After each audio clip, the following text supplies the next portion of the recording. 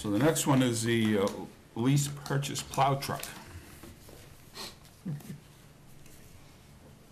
Needing numbers for that? Is it? That one, says- it says 29 on here. But we have a, a number of, uh, for a, uh, I'll read it, shall the town of Hampton vote to authorize the Board of Selectmen to enter a five-year lease purchase agreement for a Mack six-wheel dump truck with plow, patrol wing, and stainless steel sander in the amount of $210,050. And to raise and appropriate the sum of $42,010 to fund said lease purchase for one year of said lease purchase agreement shall contain a non-appropriation clause. The numbers are correct. Go ahead. So, like with the other vehicles, can you put in, um, please, that y- X amount of dollars have been expended repairing the one? At the one? deliberative session, yes, and, and, and with our online presentations, we can do Yeah. that. Yes. Yeah, So do I have a motion?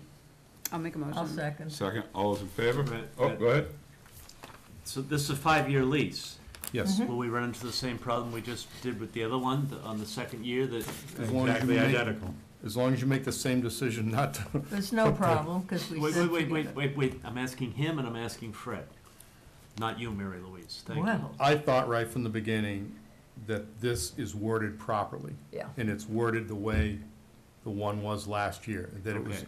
that the voters knew that it was a mhm, multiple-year lease, and that they knew that it came with five payments of one twenty-four for Yeah. the two di- trash trucks. And I think this one is equally as clear, and agree with the board's previous decision not to go ahead with the Okay, refunding. I'm good, as long as we're, as long as we're clear on on what we're doing and we- we're Yes. confident that we're not gonna mm-hmm. run into a The, problem. the article wording complies with DES regulations, Okay, and the reason we're putting in the lease purchase is to keep the taxes low. okay, mm-hmm. that's good. So we have a motion and a second. All those in favor? Unanimous.